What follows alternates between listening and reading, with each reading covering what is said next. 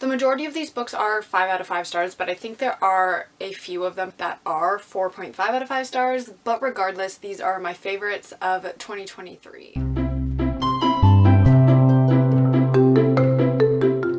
Hello sweet angels, it's your girl Jay and today I am here with my top books of 2023. Yes, you heard that correctly. You read that correctly. Is it August 2024 at the time that I'm filming this? Yes, it is. Um, but as I said in the last three videos, your girl is not in the right headspace to film any of those end of the year wrap up videos, so it's coming to you now. Better late than never, as I always say. So without further ado, let us get started. So coming in at number 10 is The Ballad of Never After by Stephanie Garber. This is the second book in the Once Upon a Broken Heart trilogy. This is one that I did give a 4.5 out of 5 stars, but absolutely adored this story. I can't really give too much of a synopsis since it is a sequel, but it follows a girl named Evangeline Fox who is in love with this man who ends up doing some very mean things to her. She ends up making a deal with the Prince of Hearts for his help and chaos ensues after that. I personally I'm just a sucker for complicated relationships and I cannot get enough of Evangeline and Jax. I just eat up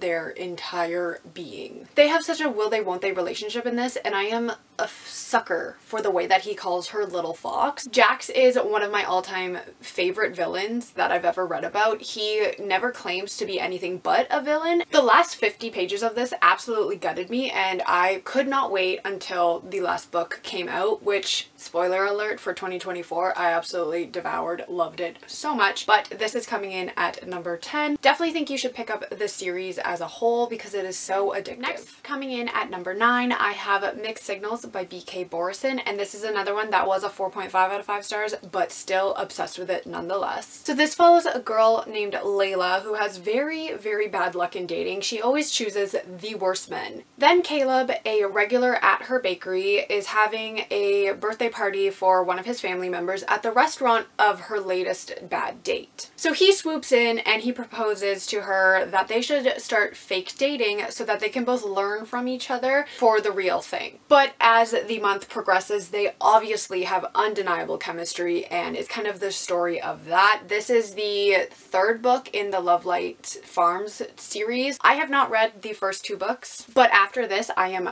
dying to get my hands on them. This is definitely able to be read as a standalone, so if you haven't read the first two books, don't worry about it, but it definitely does have cameos from the first two books as far as I am aware. This gives off such Hallmark movie vibes. I could not get enough of it. This book made me realize that although I really do love the grumpy ex sunshine trope, I also really love the sunshine ex sunshine trope. These two characters are just little balls of sunshine and I loved them so much. The main character, Caleb, really reminds me of my boyfriend, which is why I think I loved this so much. He is just such a little cinnamon roll and a complete consent king, which we love to see. He's just honestly giving like golden retriever in a human body to the max and I want more of him. This is definitely a slow burn romance, so if you're wanting them to jump each other's bones right away, it's not gonna happen, but it is worth the wait. They are so sweet together and the mutual pining is just,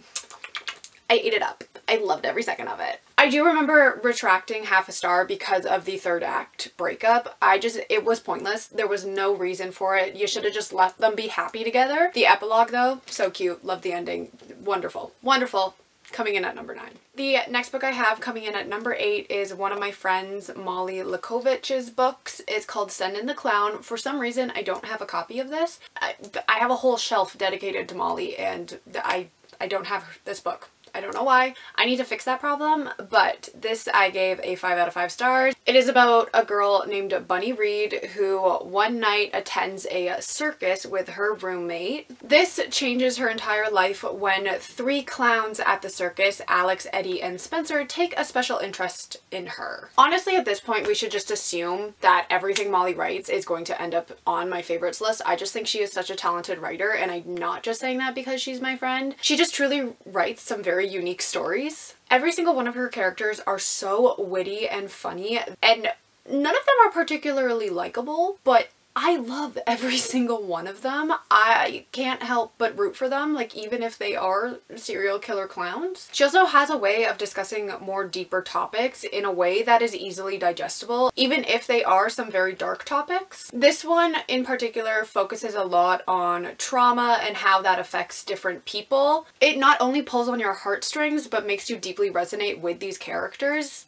As always with a Molly book, The Spice is Spicing. I definitely recommend that you pick up this book because I do think it is a very, very underrated and I highly recommend that you send in the clowns. Next up coming in at number seven is Forget Me Not by Alyson Derrick. We're now getting into the all the five out of five stars, so I'm gonna stop saying that I rated it a five out of five stars. This one follows Stevie and Nora, and they have been secretly dating for the past two years. They're planning on running away to California together, but then Stevie has a terrible accident which causes her to forget the last two years of her life, including her relationship with Nora. Obviously, Nora is devastated and she decides that she's going to stop at nothing to get Stevie to remember her. This book made me cry. And I am not a crier. I don't cry at books, but I sobbed. Honestly, the only other author who has ever made me sob at a book is Taylor Jenkins Reid. So I'm just saying, I'm a cold, heartless bitch.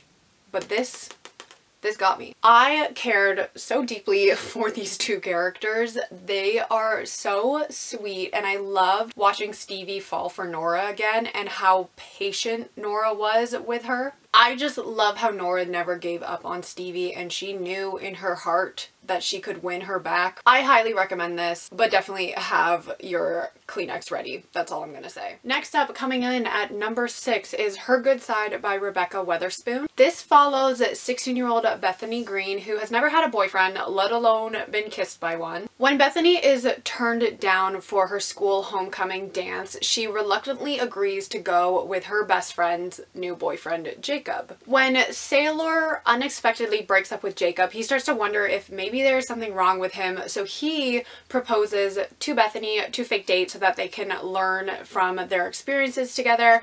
And obviously as fake dating tropes go, they start to spend more time together. They realize that they have a lot of chemistry and they might have some feelings for each other that aren't so fake after all. It's told in dual point of view of Jacob and Bethany and I loved being inside both of their heads. I do think that they went through so much growth not only together but individually as people as well. This is another one that is a very slow burn romance because Jacob is dating Sailor for the majority of the book. But I loved how Jacob and Bethany cared for each other, first as friends, but then as something more. The banter between these two was so well done and I loved how they were kind of little cheerleaders for each other's hopes and dreams. Also, major fan of Bethany's moms. They were so fun and supportive and just amazing characters. Bethany is also a plus size character and she was so unabashedly herself when it came to her curves. She was not going to let anybody tell her how to be, what to look like, especially when it came to her passion for food and I absolutely loved that part of the story. Okay, we are now coming to our top five of 2023. Coming in at number five is High Highly Suspicious and Unfairly Cute by Talia Hibbert. So this one follows Bradley and Celine. They used to be best friends, but now they are sworn enemies. They both enter a wilderness survival competition where the grand prize is a scholarship to the college of their choice and they start to spend more time together and they realize that maybe they aren't enemies after all. This was actually my first Talia Hibbert book and I really loved her writing style. I definitely want to check out more of her books. I absolutely adore adored these characters. They were so much fun to follow and they did feel like real people. They were just so relatable. Like I said before, we love a grumpy sunshine trope and then throw in a friends to enemies to friends to enemies to friends to lovers trope and I am sold. I also just loved the banter between these two. This one also follows some more deeper topics such as OCD which Bradley has and it was handled in such an amazing way. And then we also get Celine's journey to self-discovery and her realization that she's more than just her accomplishments and her father's abandonment. And the side characters were just so amazing. I really hope that we get like a spin-off of the side characters because honestly I just want more of Brad and Celine and these characters. Coming so. in at number four is Ever Since by Alena Bruzas. So this book follows Virginia. She is a teen girl who has rumors following her everywhere she goes, all about how promiscuous she is and how easy she is. When her best friend Poppy goes away for the summer, she starts hanging out with Poppy's boyfriend Rumi. Breaking away from her norm, she does not sleep with him in respect for Poppy, but as she spends more time with him, she starts to realize that she might be falling in love with him. As she grows closer with Rumi, she starts spending more time with his younger sister, Lyra, who starts telling her about a special friend that she has. As Lyra starts confiding in her more, she starts to realize that the similarities to what happened to her and Lyra's special friend are a little bit close to home, so she has to decide what she's going to do. This book was probably the toughest book that I read in 2023. It covers some very deep topics such as sexual abuse, grooming, addiction, and suicide ideation. The trauma that Virginia went through and had to relive in order to help Lyra was so heartbreaking and hard to read about. I know that Virginia was supposed to be a very unlikable character, but you cannot help but want to comfort her and hug her. She just felt like such a real person and it was very hard to watch her turn to alcohol and sex to try to cope with the trauma that happened. I really loved how this showed that sexual abuse can affect not only the person it happened to, to, but literally everybody around them, and how the trauma from that can last an entire lifetime and affect each person very differently. But I uh, loved how the ending was left on such a hopeful note when Virginia chose to speak up. This is a debut novel, which it definitely did not feel like in any way. I'm definitely going to be checking out more from this author. Alright, now we are moving on to our top three of 2023. Coming in at number three is Violet Made of Thorns by Gina Chen. This follows Violet who after saving the royal prince Cyrus when they were children is appointed the court seer. She is tasked with reading the threads of fate in order to determine the past and future. So when Violet sees Cyrus's untimely death, the king asks her to lie about what she's seen.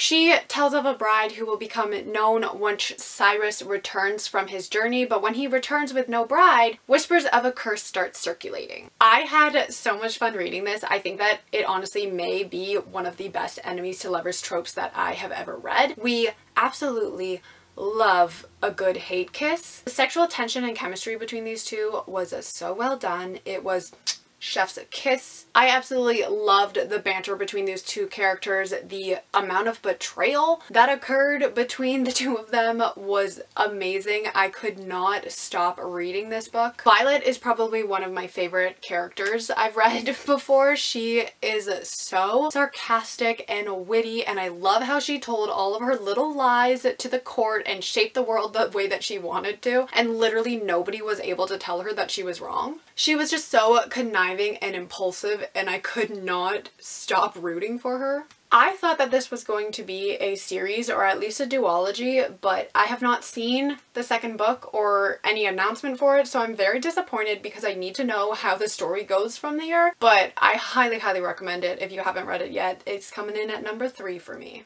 Next up, coming in at number two is Legends and Lattes by Travis Baldree. I feel like this is on a lot of people's favorite books list. This follows a orc named Viv who decides to settle in a small town where she decides to open a coffee shop. In order to ensure that this plan is successful, she enlists the help of some locals to get the shop up and running and I absolutely love this. I actually read this when I had COVID and I think that it was the perfect pick me up for that time in my life. I loved my time reading this. I loved every single character. Thimble is 100% my favorite of everybody in this story. I just thought he was so cute and I loved how he added new pastries to the menu every day. I am a big sucker for the found family trope and I really think that this was so well done in that aspect. This is another slow burn romance. I think that Tandri and Viv were so sweet and I loved watching them care for each other. It was just such a pure and wholesome read. If you haven't picked it up, which I mean everybody has at this point, then I definitely recommend picking it up as soon as possible. It was so cute. And then coming in at number one is They Never Learn by Layne Fargo. I am obsessed with this book. This follows Scarlet, who is a successful professor at the University of Gorman. For the past few years, she has spent her days teaching and her nights murdering men without detection. When people start questioning the growing body count, she decides to insert herself into the investigation in order to ensure that she remains in the loop of what's going on. Meanwhile, a freshman named Carly starts having feelings for her new roommate, Allison Hadley. But then one night, Allison is assaulted and Carly decides to take matters into her own hands. I read Temper by Layne Fargo a few years ago and that ended up on my favorites list of that year. So clearly Layne Fargo is just an author that I really enjoy. I find her writing style so engaging and fast-paced and easy to read. I am an absolute sucker for a revenge plot. Any time I make one of these top books list, revenge plots seem to be a big highlight for me. I loved the dual point of view between Carly and Scarlet and how their stories intertwined. I definitely enjoyed Scarlet more than Carly's timeline. I am personally just a big fan of murderous women who seek revenge, so I ate her chapters up. I just think that Scarlet was such an intriguing character. Like, I understand that she is a literal serial killer, but something about this woman just, I, I can't get enough of her. I need another story with her. I need a TV show. I need a movie. I don't know, but I need more of Scarlet. That's all I'm gonna say. Alright everybody, so those were my top 10 books of 2023. Yes, we are coming to you very late, but like I said, better late than never. Let me know down below if you have read any of these books and what you thought of them, and I will see you all in my next video. Goodbye!